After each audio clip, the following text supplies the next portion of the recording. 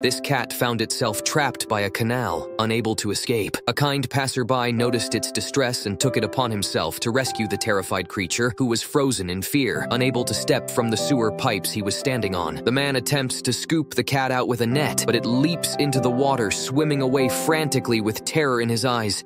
Now facing a new threat, a human trying to catch it. The cat swims desperately, searching for a safe haven but unable to find one, returns to the nearby pipe. The man is not giving up and persists, trying to catch the cat with his net but failing several times. But just as the cat begins climbing back onto the pipes, the man places the net below it and manages to catch it, momentarily thought, as the cat breaks free and jumps back into the water. Undeterred, the man tries again with his net and finally succeeds in scooping up the the cat, lifting it to safety. The cat makes for a hasty retreat, likely relieved to have escaped the ordeal. Subscribe if you think this cat could be an Olympic swimmer.